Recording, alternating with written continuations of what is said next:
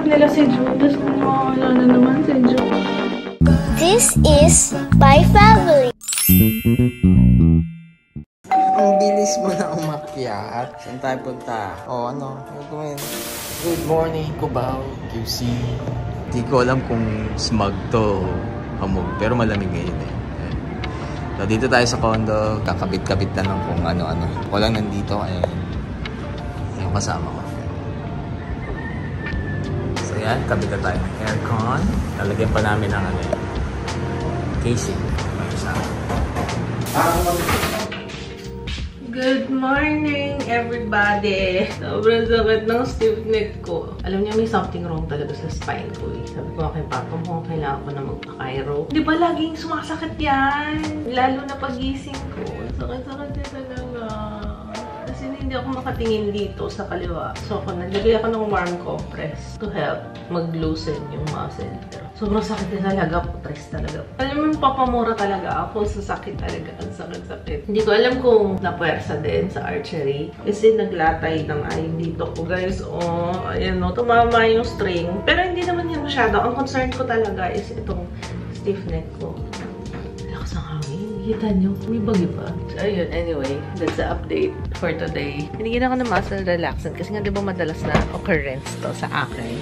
So, meron akong iinumin dito. Pero kailangan ko muna kumain. And gusto ko na lugaw kasi malamig ngayon. Good morning, Nak! Tapos si Ju, pagising ko, nakasiksik sa akin. Kasi ganyan talaga yan si Ju. Tapos yung pinapanood niya ngayon, yung... Ay! Hello, Pogi! Nice hair! Hello! Kitang-kita lalo yung ano mo ngayon na tenga mo sa haircut mo ah. Wow! Kanino kaya nagmana? Pareho naman kayong dalawa. Hi, Kuya. Good morning. Pogi, ang cute ng mullet mo. Yay! Ano Pasko to? 2021 yata to. Mm-mm. Grabe eh. Sakit. Sakit. Oo, tingnan mo naman pa sa aray. Naman mo yung braso ko sa laki niya. Sumabit siya dun sa ano. Wow. Ikaw nagsabi niya na. Sa akin din sumasabi. Kasi, oo, kailangan talaga nasa Akala ko, angulo yan. na sana eh. Pero love ko yung braso ko guys ha, kasi tingnan nyo naman no. Love na yung Gian. Ikaw, gusto mo dito sa kabila? Next time, ikaw naman sa kabila. Mama. time. Oo, ba't pumapasto ka dyan? Hmm. It's a red car. Nalagyan niya sa parang runway. Ooh, lugaw. Eat lugaw yung baby. Mm. Um, favorite niya yung lugaw eh. Il nakakailang lugaw yun sa isang linggo. Lugawan! Mm. Gusto, gusto mo talagang ganyang paglalaro. Ano, join nga ako dyan. So, ayun nga. Sakit pa rin yung leg ko. Nag-alternate ako ng ice pack at saka heating pad. Aray ko na kung ba't gumalito ako ng pwesto. Mahirapan pala akong bumangon. Aray ko. Kaya pala malamig. Umulan. Malamig ng hangin, no? Pasko na talaga. Malamig na. Ito yung inano ko, guys. So, ito. Ice pack. Tapos heating pad. Zero! No, no, no. Kailangan ko pang ipatago yung saksakan ng parol. At nakikita nito, kailangan discreet eh. Kasi ito kung ano yung mga saksakan, yun ang gusto niyang hawakan yung mga kable, yung mga bawal, no? Hero, come here, dali! May dumating daw na merienda, come here. Late na yung merienda natin. Ito guys, kararating lang nito. Oh, Jiro, what's this? Wow! Ang daming, ano to, Mochi Challenge. Uy, masarap to Mochi Puff. Sabi ko na, oh, guys, oh. Mochi Puff. At tapos may cake. Wow! Merry Christmas! Wow! Si Jiro. It's a cake. Oh, don't touch it first. Wait, let Mama open it first, ha? Open natin para makita yung ganda ng cake. You like it? Thank you so much, Kumori! Hmm, nakakagigil. Mm, para siyang yung toast by Ira, pero nakakagigil yung bread. Hindi ko alam kung matcha o avocado or pistachio. Ano lasa? Pistachio! Mmm, sarap! Kuya, chocolate. Mm, sarap. This one? Hmm, donut. Ang sarap nito, dark dark chocolate. Naku pa, magugustuhan mo to. Pero pistachio pala siya. Akala ko matcha. Nakaka-addict ako. Parang ano yata nila to eh. Pa pampasko. Pati yun nga ako ng Mochi Challenge. Ba kinain muna namin bago ko binasa yung PR card. Hmm, gustuhan ni Kuya. Hmm. Available na to guys sa Komori. If you wanna try it. Masarap. I highly recommend to. Hindi siya donut eh. Pero mochi nga. Mochi nga siya. Mochi, mochi. Ano bang basa? Baka mochi ako ng mochi. Mali naman pala. Sarap yung tinapay niya. Sarap no, nakakagigil. Mochi. Mochi. Mochi? Japanese rice cakes, pero parang hindi naman siya rice cake. Iba yung nasa isip ko na rice cake. Guys, eto tinatanong ko sila. Si Jaya parang tinuruan din kita niyan eh. Hindi tinuro sa school. Ikaw din, hindi tinuro sa school nyo. Guys, promise talaga, nung elementary ako, tinuruan kami nung ganito yung ganitong curtsy. Jaya, huwag mo si Jaya. Yung ganyan, no? Pamilya. Ano yung panaginip ko lang ba yun? Alam, bakit hindi nila alam? Tapos sa lalaki, yung ganun lang, bow lang. Yung isang kamay na dito, dito sa nasa chats, ganun lang. Hindi promise talaga pag nag good morning, Mrs. M.M. Tapos na ganun. May ganun talaga. O sa Princess Sarah yun. Kasi gusto gusto ko talaga yung Princess Sarah ng bata. Baka As in, ini-imagine ko talaga na ako kunwari si Princess Sarah. Kaya ang sipag ko, yun yung masipag hirap ko. Kaya tuwa-tuwa si mama. Hindi nila alam ginagaya ko ng si Princess Sarah.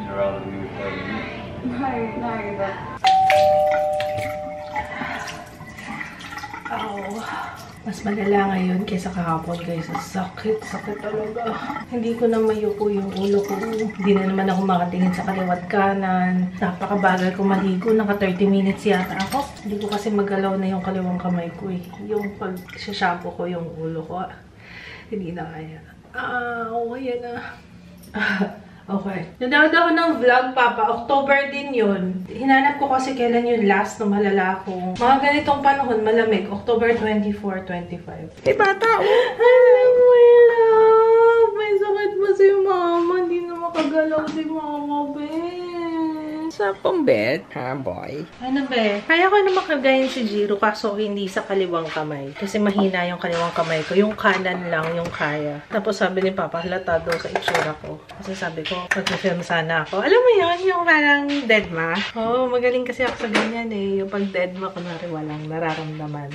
Halata daw sa itsura ko. Sabi ko, sige na nga, baka hindi maganda yung output natin pagka pinilit ko. Pero Guys, yung nafe-feel ko ngayon, hindi ko i-wish sa kahit sino man. Kasi sakit talaga. Parang may nakadagan. Shutter levels, ganun. Parang the same nung 2020 na nangyari sa akin. May ganyan talaga. Ewan, may something wrong sa, yata sa spine ko. Tapos pati yung, yung dito, yung braso. Tapos eto nga, baka mamaya mapagkamalin kasi naglatay ako nung nag-archery kami ni Papa. Pero ang dami kong pasa. Love, ito pa oh. Meron pa pala ako dito. Hindi ko alam kung tumama din dito. Kasama yata yan sa ano. Ito? Hindi, Hindi ko may naman- cover to eh. May cover nga yun. Tapos in-adjust nga kasi nga tumama dito. So in-adjust niya, tinaas niya ng konti. Yung sa archery nung isang araw. Pero hindi ko sinisisi yun kasi before pa ako mag-ganon, masakit na talaga yung likod ko. Nafe-feel ko na may stiff neck ako, ba Pero, dapat nga pag may stiff neck ka, dead mom mo talaga. Kailangan galaw-galawin mo kasi the more na hindi ka gumagalaw, mas lalo siya sumasakit. Papa, hinarap kita kagad kanina pagising ko eh. Pagdilat ko ng mata ko, alam kong naninigas yung buong leg ko na hindi ako makagalaw. Tapos as in, sobrang dahan-dahan akong bumangon kasi naiihina ako eh. Ay, sobrang sakit talaga. Yun yung pinakamasakit pag bagong gising kasi ang tagal mong hindi gumalaw, ba? So mas mafe-feel mo yung sakit. Wala na akong mayonal. Alam ko pwede yun eh, over the counter. Bumili ka nung before ka magpaano eh, dry needling. Tapos nag-shampoo ako kanino. I'm sorry. kasi yung ganyan yung pagtaas ng kamay, masakit talaga siya. Papunta pala sila mami. Kasi kinukulit na ako ni mami. Nagpapun- magpadala na daw, na daw ako sa ospital. Kaso ayun nga, walang clinic ngayon, ba? Sunday, tapos long weekend. Ang galing naman kasi nitong timing nitong stiff neck na to, eh, no? Tapos kung kailan talaga. Alam mo ba, pa, nakaschedule na kaya yung mga activities nitong linggong to kasi it's my birthday week, 'di ba? Dapat wala na yung sa Tuesday. Ano na nangyari dun sa birthday week? Oo, tapos may concert kami ate ng sa Tuesday. Manis ako yung instruments. Dami mo na namang nakukuha dyan, Sarah. Oh, saan mo nililinis yan? Ang ganda na nangaasar, oh. Ganyan yan, tatakbo. Tapos titingin sa akin. Ano ma? Habol? Give it to mama. Hey! Let's go, sir. Nako, nagpapakarga. Si Papa na lang magkakarga sa'yo. Okay lang ba? Oh, mama. O, Sige, mama na nga. So, ganito ko siya pwedeng kargahin. Sa kanan lang. Okay. Ay, mahuhulog yata ito nga sa likod ko. Oh, yan na. Wow! Bless muna, mag-bless. Kuya, mag-bless muna. Bless kay Lola, Lolo. Ikaw, nag-bless ka? Nag-bless ka? Wow! Ay, ramen! Wow! Lola, hi daw! Ikaw, ikaw ngayon. You want ramen? Ramen ka? Happy na oh.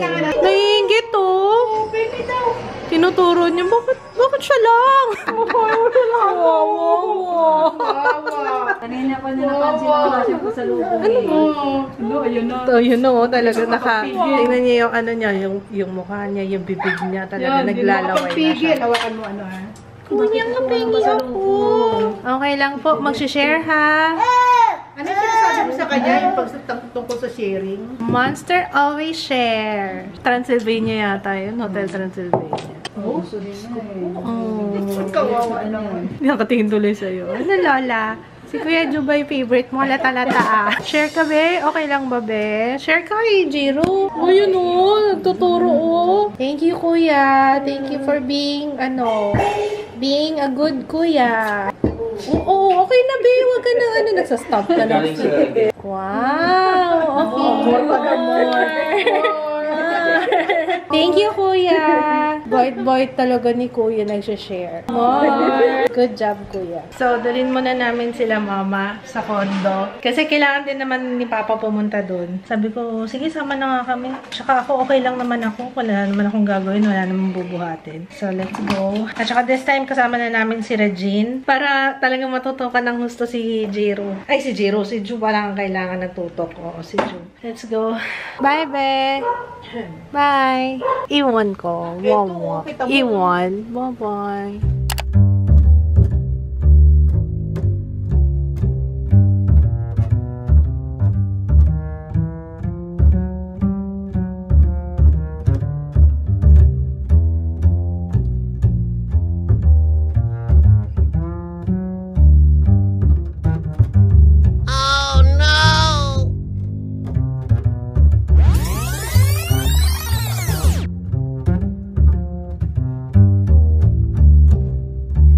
Ang dami namin. Nahanap nila si Ju. Diyos ko, nakakala na naman si Ju. Hindi ko kaya to. Para ko masusuka. Halika dito. Diyos ko po, may naghatid sa kanya. Ma'am Jinky, thank you po talaga sa inyong mag-asawa. Diyos ko, parang hindi na ako makatayo yung tuhod ko. Anak, come here. Ano nangyari? Saan ka nagpunta? Iiwan mo si mama? Ha? Hindi ko mag-uuli si mama pag umaalis ka. Halika dito. Bakit naman mali? Sino kumuha sa'yo? May kumukuha daw sa kanya na lalaki. Tapos ayaw sumama. Tapos nung dumaan sila, tinatawag niya ni Ma'am Jinky. Sabi, Ju, Ju. Tapos talaga binubuksan na daw yung pintuan ng sasakyan nila. Para nadaan sila doon. Ma'am Jinky, thank you po. Talaga sobra-sobra. Diyos ko, parang andun pa sila sa labas. Hindi ako makatayo. Yung tuhod ko nanginginig. Gali ka nga dito, anak ko. Andun pa sila. Nag-uusap-usap sila. Sila mami. Nandito, pawis na pawis. Wala pa. Wala pa. Si Regine yata nawawala na. Si Regine na yata nawala. Ay, Diyos ko po, anak ko. Paalis na kami. Kawawa naman si Regine. Nawawala na yata si Regine. Doon sa may kanto? Sa tennis court, di mo naman mapunta yung barangay eh. Ah, doon niya nakuha. Oo. Kasi nga daw, pag aalis yan talagang pabarangay palagi yan. Wala, ayaw yata nang natakbo nito kasi tingnan mo yung pawis, oh.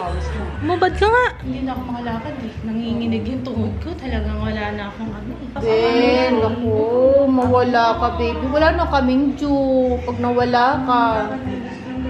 masagasaan siya, di ba? Oo, yun lang. Yun lang pag nasagasaan siya. Siya ba nagbukas ng gate? Di ba ikaw nga nakatita? Siguro. Sabi mo, gate?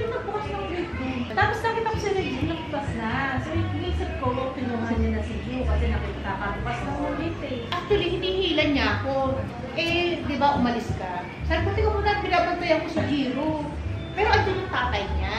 Oo, yun na. Di kaya nga kampante ako. Kasi alam ko si Kristen dyan lang sa garahe. Danger outside. Nakita mo yung mga car? O paano pag nabump ka ng car?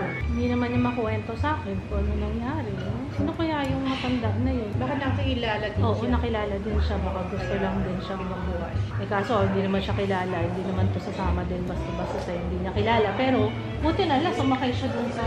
Maswerte ka lang ngayon na, babe. Mahanap si Regina. Kasi si Daddy. Baka naglayas Si Daddy tsaka si Jiro. Baka mapagalitan siya. Oo nga. Natakot siguro na wala yung alaga niya. Wala, wala na si Richie. Paano yan? Hinabol ka ni Ate Regine eh. Oo naman, baka nag-iiyak na yun doon. Don't do that. Magsasabi ka o kaya hala, hala, hilahin mo kami. Ika nga, mag-wash ka ng hands Kasi mo. yung yung susi yata, ay yung remote yata ng ano, gate, nasa sakyan. Eh, binuksan, Binuksan niya na. Oo, binuksan niya yung sasakyan. Umiyak na si Ate Regine. Tingnan mo. 10 kilos. Diyos ko po, anak. Talaga, sino ba naman ang hindi manghihina? May takot si Regine. Oo, kasi alaga niya.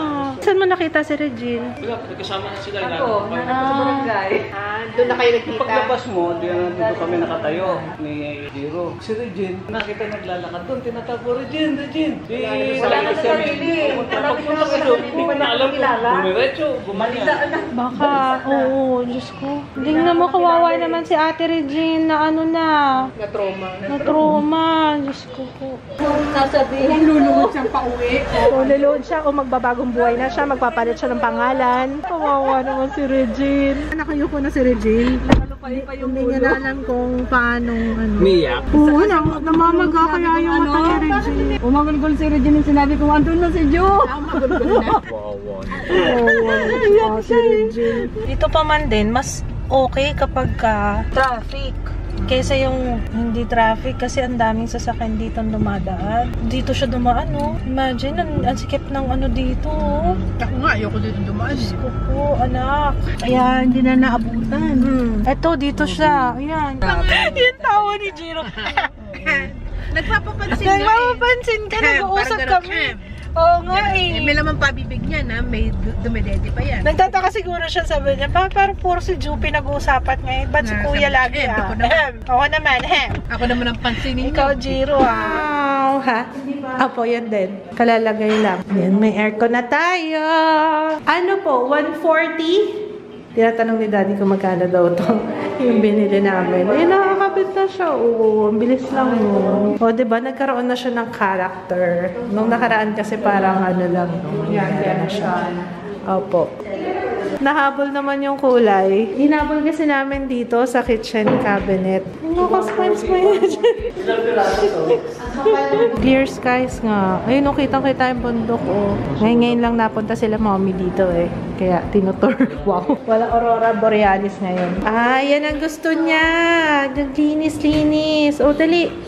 Walis. Ay, nakabit na yung aircon. Ito isa hindi mo binuksan. Sabi ko baka pwede yung ano. Asan ang tubig Yung, dito, di? sabi ni Kids, hindi daw yung tubig. Kasi parang yung washing machine dito na lang. Drain lang. Ah, ayan yun. Eh, ito. Yan lang siya. Pang aircon lang.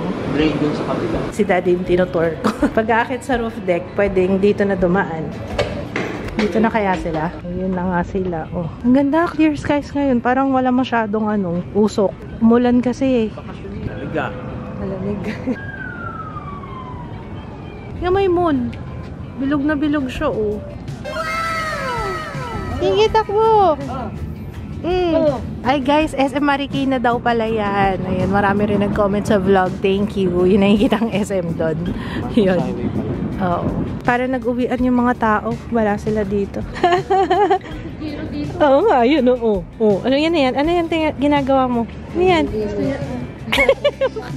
Nakita si Ju ng spider. Ayun siya. oh. Nagalata ako sa nanay ko, nakapaa na. Sakit na daw ng paa niya. Ikaw din, yung tuhod mo. Ito na nga, oo. Oo, oo. Takot ka na. I'll get the spider for you. Tago na siya eh. No, no, no, no, no. Masaya anak mo. oh. Takbo ng takbo. Layas na talaga. Pag mga ganyan itsura, mga layas na talaga yun. mga hindi mapirme sa bahay. Oh, happy na yan, oh. Igi. Oh. Para kang laging matutumba. Huwag ka kasi tumakbo.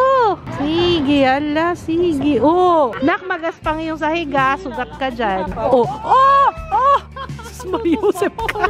Yung mga anak mo, tingnan mo isa, nakapita, patiwarik pa dun. Natatakot siya kasi may spider. Maganda pa na dapat may mga spider tayo sa balcony. May naisip na akong idea para hindi siya tumakas. Spider. Mag-aalaga na kami ng tarantula. Lalagay namin sa gate.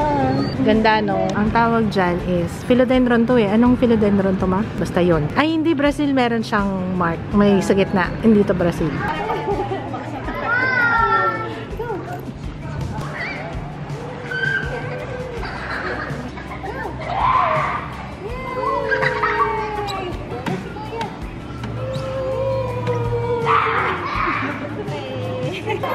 Galing oh. Wow.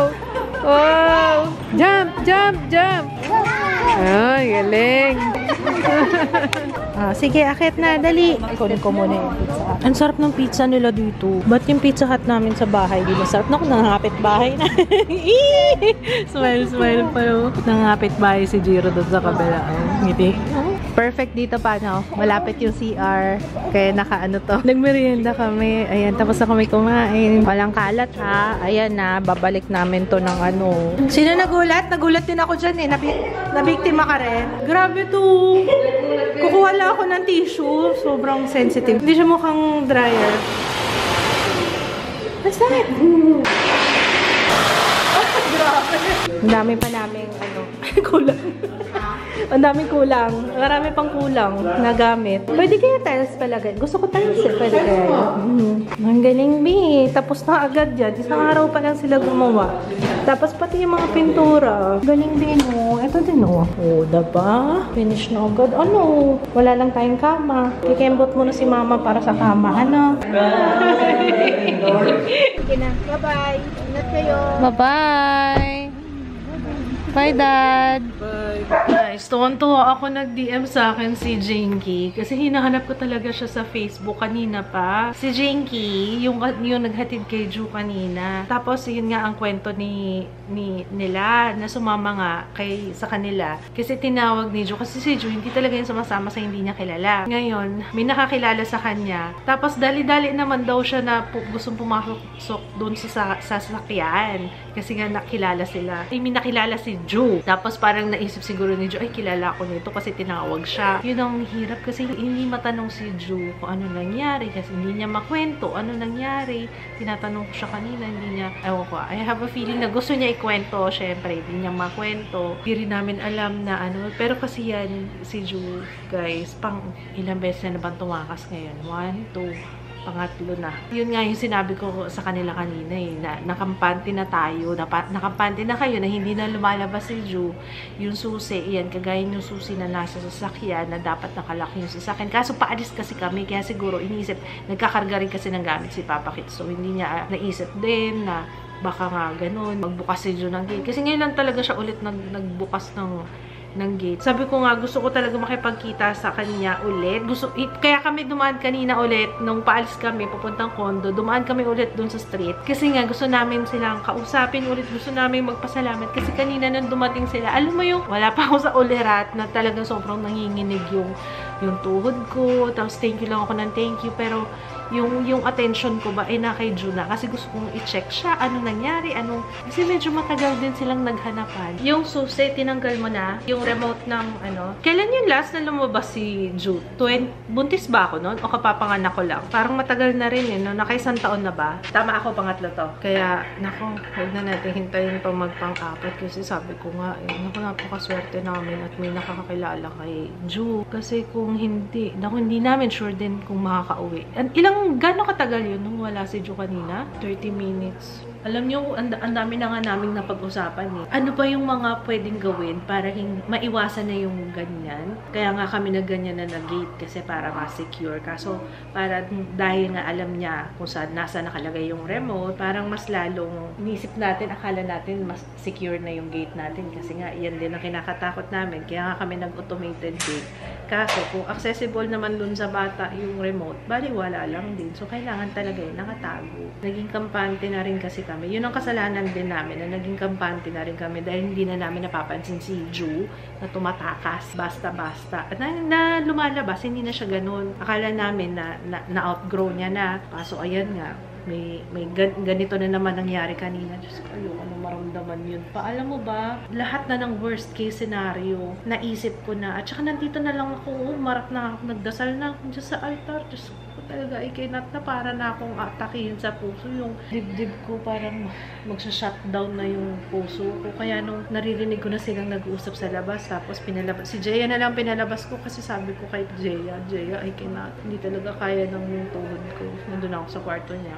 Kasi yung paglabas, ayun na nga, nandun na, hinatid si Ju dito. Kaya talaga, laking pasasalamat ko talaga dun sa kanila. Talaga na Nakita nga daw kasi nila may lalaking humahatak hindi, yun ang hindi ko na natanong anong itsura, anong, hindi ko na masyadong inintindi yun. Basta ang focus ko kasi na nandito na si Ju. Gusto ko din silipin kasi para siyang aligaga. Alam mo, pa, pawis na pawis siya pagdating dito pa. Tapos dala pala niya yung iPad. Sabi ko nga, eh kung alam ko lang na, di ba hindi ko naisip na i-check yung CCTV? Ah, kasi wala ako, wala na akong access. Kasi nga, nagpalit ako ng phone, di ba? Wala ako dito. Hindi ko pa nalagay lahat ng app. At hindi ko chinek kagad yung CCTV. Hindi nawala sa isip ko. Parang, basta kung ano-ano na.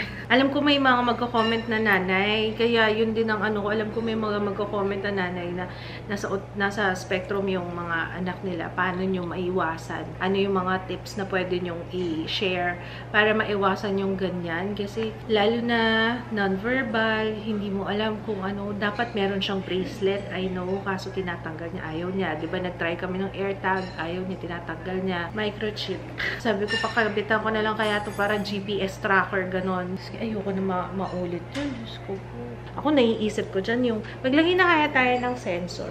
Yung ano, yung ginagamit sa house arrest. Yung nilalagay dito sa paa. Ah, anong pangalan?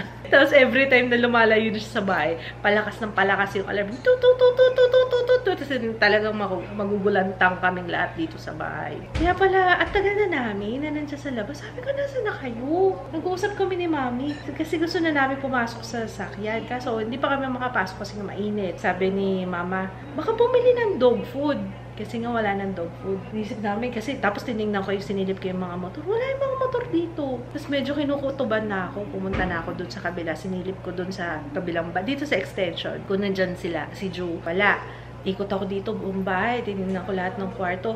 Wala. Parang medyo kinakabahan na ako, no? Kasi sabi ko, kung nakamotor sila, bakit pati si Regine? Wala. Tapos, bumalik ka. Di ba, bumalik ka? Wala si Ju. Tapos doon na ako talagang nag, nag ano. Pero yun. Puntahan natin ulit si ano, Papa. Pag nag-reply siya. Kasi, ayun, nag-reply pa lang ako eh. Hindi ko alam kung nabasa niya na yung message ko.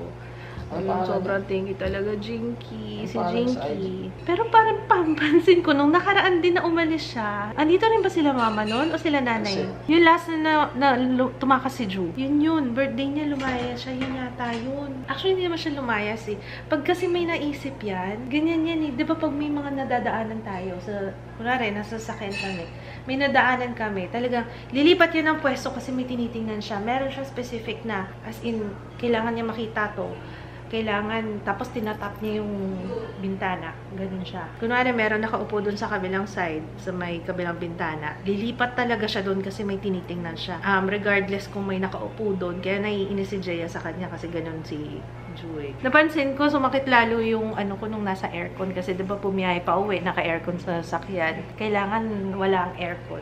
Kasi nung nasa condo kami, hindi masyadong masakit yung stiff, yung ito, yung stiff neck ko. So, yung lamig talaga, isa pang kalaban ng stiff neck. Ah, marami na daw ibang nakakita kay Ju. Sabi niya, no, nagulat daw siya, nakita niya si June mag-isa naglalakad. Buti nga, sumama siya sa akin kagad, tapos sumawak agad sa kamay niya. Buti na lang, siguro sumama siya kasi may nakakilala sa kanya, may tumawag sa'yo. Sabi sa'yo, Ju, anak ha, huwag ka nang aalis ulit. Paano naman si mama, si papa? Huwag kang aalis sa labas ng gate, ha? Okay? Promise, ha? Huwag ka nang lalabas dun, ha? Hindi ko pa naman matanong sa kanya kung sino yung lalaki na ano. Sino kaya yun? Gusto mo, bukas, daan ka dun.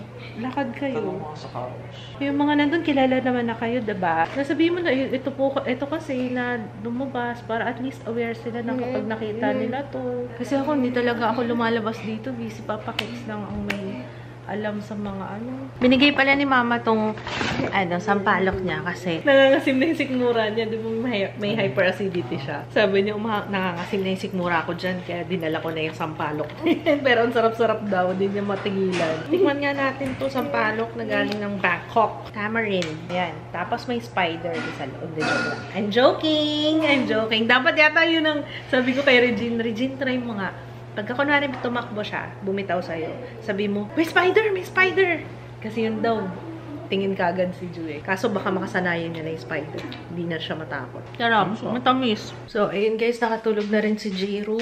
Grabe, nakakatuwa talaga yung batang yun. Lalo na kapag may mga nakikita siya ibang tao. Ay, grabe. Talagang kakaway, kakaiba talaga siya. Mr. Congeniality talaga siya. Opo. So, ayun. May ako kanina kasi nag-share ako sa broadcast channel yung nangyaring today. Nag-type lang naman ako, hindi naman siya video. What if kung iba yung nangyari kanina? What if wala si Ma'am Jinky doon? Thank you talaga. Kung walang nakakita sa kanya, nakilala siya. Thank you talaga, Lord. Another wake-up call na naman to sa amin. Talagang na-feel ko din na, na ano, natuliro si Papa eh. Anyway, ingat kayong lahat guys. And thank you so much guys for watching.